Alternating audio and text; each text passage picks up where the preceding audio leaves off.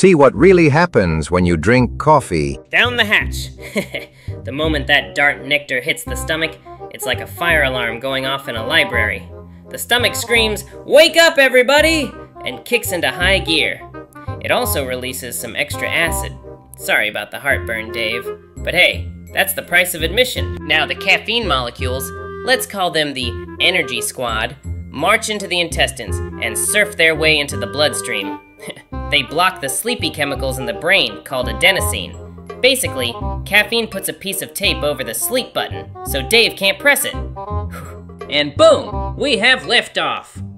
Dopamine spikes, focus sharpens, and Dave feels like he can fight a bear. Or at least answer an email. His heart pumps faster, delivering oxygen like a race car. He is focused. He is powerful. He is probably typing too loud. But careful, Dave. Too much juice and the system overloads. now the heart is playing a heavy metal drum solo, the hands are shaking like a maraca, and the anxiety is creeping in. And remember, what goes up must come down. Enjoy the crash, buddy. Nap time in three, two,